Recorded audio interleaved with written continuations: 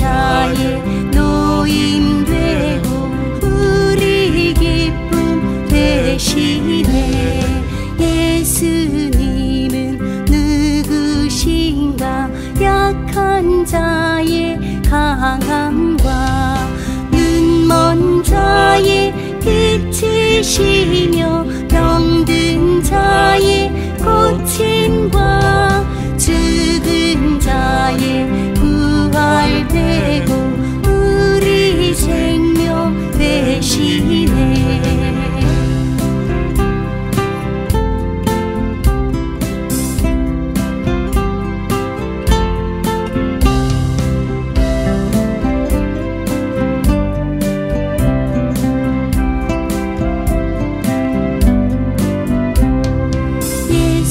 예수님은 누구신